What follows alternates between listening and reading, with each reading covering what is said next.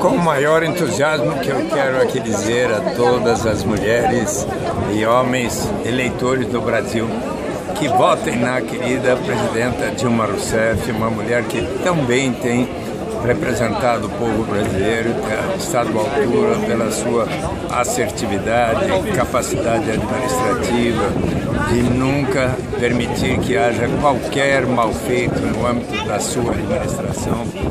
porque tem conseguido fazer com que a taxa de pobreza absoluta venha diminuindo desde quando, colaborando com o governo do presidente Lula, era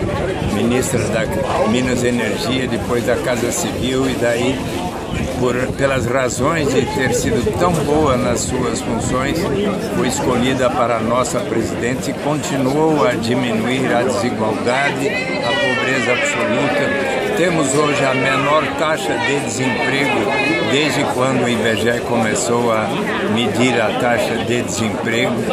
E ela é uma pessoa que, pelo programa Mais Médicos, pela expansão do Promatec, do Pronatec, pela expansão das oportunidades de educação em todos os níveis, desde as creches até o ensino universitário, pela sua sensibilidade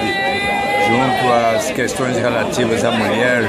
com o trabalho também da ministra Eleonora Meneguzzi, elevando o grau de dignidade e liberdade e cidadania de todas as mulheres o avanço do programa Bolsa Família e eu quero muito apoiar e ajudar a presidenta Dilma Rousseff em poder fazer a transição do programa Bolsa Família, que tão bons resultados tem alcançado, agora com 14 milhões e 200 mil famílias, que correspondem a aproximadamente 50 milhões de brasileiros e brasileiras, mas um dia,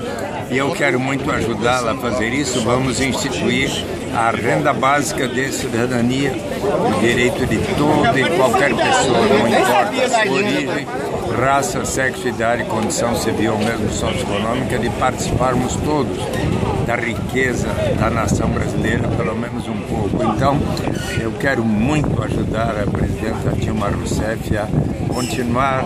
a elevação do grau de liberdade e dignidade real para todos os brasileiros e brasileiras. Por isso, votem na Dilma Rousseff com entusiasmo.